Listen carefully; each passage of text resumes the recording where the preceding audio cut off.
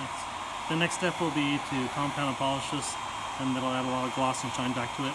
Uh, if it needs uh, some more color restoration, we'll heat it up some more.